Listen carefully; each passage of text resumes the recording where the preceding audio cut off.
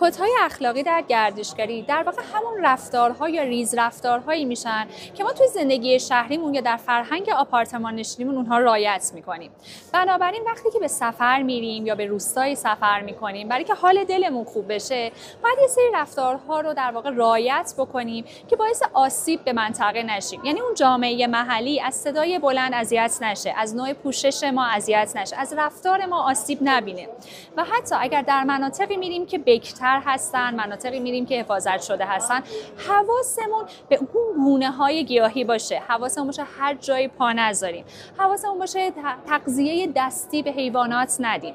و برای این یک راهکار وجود داره. برای که بهتر بدونیم بهتر هستش که با راهنمایان گردشگری همراه بشیم. راهنمایان گردشگری در واقع معیارهای ورود به هر منطقه رو می‌دونن. داستانهای اون منطقه رو می‌دونن. در واقع شاخصه هایی که باعث میشه یک سفر برای ما لذت بخش بشه رو می‌دونن.